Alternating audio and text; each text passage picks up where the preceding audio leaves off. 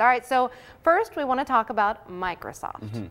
So Microsoft announced their uh, Surface tablet, which is uh, what they're hoping will compete against the iPad and uh, Google's tablet. Their main their main uh, reason for releasing a tablet is it runs their new Windows 8, which is uh, the next operating system after Windows 7. Mm -hmm. So it'll run the same OS that you run on your laptop and desktop already. So that's going to be one nice thing. The nice thing is the, ta the tablet's going to actually run computer applications that the computers that laptops are, and desktops that run Windows already will be able to run on the tablet. So if you have that one uh, application that you use on a laptop that you just can't get on an iPad or a Nexus 7, you can run it on the Surface. So that's going to be one advantage of the Surface. And the next one is uh, Microsoft actually created a keyboard that kind of, it attaches to it attaches magnetically. Mm -hmm. It's kind of like the Apple Smart Cover, but they took it a little bit farther. There's actually a kickstand on the back, so you just prop up the tablet, flip down the keyboard, and you have an. Uh, it's it's not really invisible, mm -hmm. but there's just a touch keyboard right there waiting for you to use. So it's if, the, if you like actually typing on a keyboard, the Microsoft huh. Surface tablet will be pretty good for you. All right, so do you think that this, I mean, obviously this is their move to try to mm-hmm. compete with Apple. Do you mm -hmm. think it's going to work?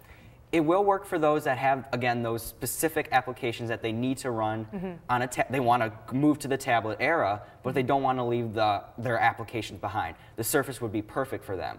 For general consumers, definitely, because they do have two different versions of the Surface. There's one that can run just apps from the Windows Store, which is applications that were just made for Windows 8, and then there's the Surface, which is a little bit thicker, but it's made to run. It's got. It's basically a PC in a small little uh, container. So okay. there's going to be two versions of that. And are they are they already in stores or still pre-order? They're actually available for pre-order. You okay. can go to uh, Microsoft Store. You can just uh, pre-order. You can choose. I believe they start at $4.99, and you can go all the way up from there. So then you can add all these accessories if you like to. All right. Now the other thing we want to talk about is something smaller in price and smaller in actual size. Yes. And it's the new. Is it the, called the Apple? iPad mini. iPad mini, okay. So supposedly being announced tomorrow, because Apple sent out this announcement, they just said we got a little bit more to show you. They usually kind of cue you in on what's going to be announced in their little tagline in the uh, invite. So this was actually sent out to uh, blogs about a few days ago. Okay. It just says we got a little bit more to show you. So that kind of gave people the idea there's little, they're trying to promote the little, so they're going to probably announce the iPad mini. There's also been um, some inventory leaks where uh, companies are starting to add into their inventory system new listings for the iPad, about 12 different kinds. Mm -hmm. And the interesting thing is they're not just updating the iPad mini, they're also updating the original, which is they usually don't do that.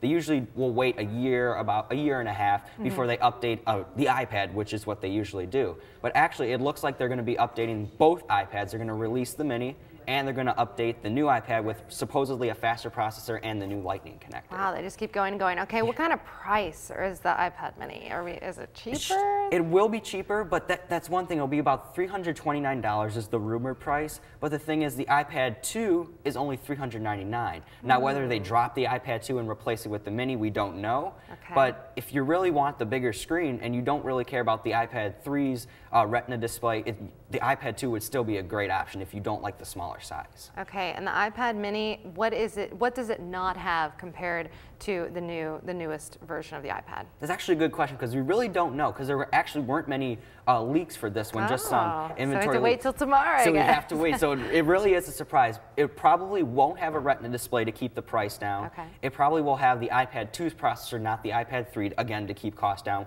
which will means it'll perform well, but it won't have that enhanced graphics that the iPad 3 has because it has that Retina display. It'll probably have the cameras, it'll probably have all the features iOS 6 has, so it'll be a good buy, but it won't have probably the updated hardware that Apple's already released, just to keep price down. All right, and also Tim, we want to cover what other companies are coming out with tablets for this holiday season. Right, um, Google, Asus, Samsung, they're all got their tablets ready to release. Uh, Samsung's actually got their Galaxy Note 10.1, which is like there's actually a stylus in the tablet, and it's made for taking notes. You really can write anywhere on the screen, save a note, you can draw oh. doodles, you can send it to other Galaxy Note 10.1 people that own, th that own the tablet, so you can send all these animations and e-notes is what they're calling it. And um, Google's actually got their Nexus 7, which is already available. It was announced in the summer. Um, it's, it's a 7-inch tablet. It's made to be used with one hand. It uh, gets updates directly from Google. So if you really like the Android operating system, the Nexus 7 would be good for you. All right. great. Timmy, you always have so much information. How can people contact you? Um, I do have a Twitter. I also you can contact me through AndroidTaskForce.com. I do have a Twitter too. So anywhere uh, you you would like to contact me, I would be able to help you. All right, Timmy, you're so helpful, and we always appreciate you being here Thank on you. Tech Tuesday. Thanks so much, Thank Timmy you. Moore.